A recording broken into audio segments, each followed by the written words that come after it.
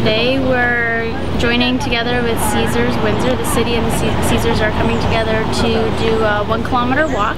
Um, we started this a couple weeks ago and we're just trying to encourage our employees to get out, enjoy the outdoors on their lunch hour, um, take a walk to the river and enjoy our riverfront trails and uh, get some exercise and uh, move and enjoy themselves. Why hook up with uh, Caesars on this? Uh, we're located close together, so it's a good opportunity to meet in our city's, uh, in the Charles Clark Square common area, um, and get people out and utilizing that space.